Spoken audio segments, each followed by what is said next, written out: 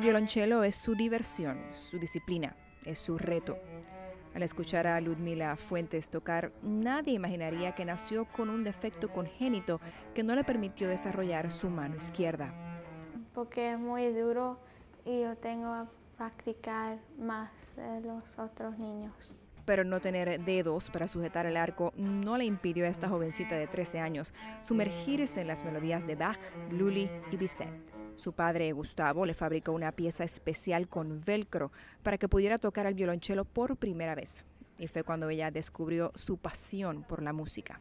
Le da tremenda confianza en sí misma, eh, el poder saber que de poner tanto esfuerzo, porque tiene que poner mucho más esfuerzo que otros, otros niños para, para eh, llegar a, tocar, pero la hace sentir cada vez que puede hacerlo, que, que puede casi hacer cualquier cosa.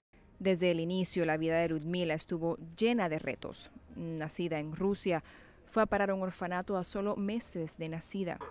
Daineri y Gustavo Fuentes deseaban una familia y cuando vieron a la pequeña en un video no dudaron en adoptarla.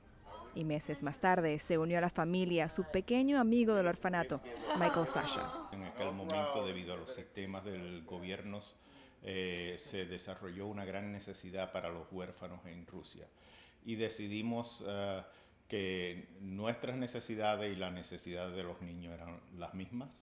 Michael y Ludmila han crecido en un hogar de amor, disciplina hacia la enseñanza y dedicación a la música.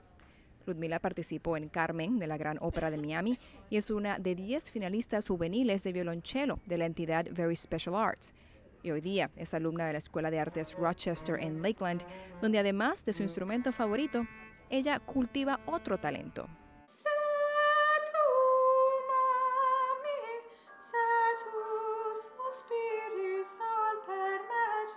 Ludmila no encuentra limitaciones en la música, sino una puerta abierta a las posibilidades.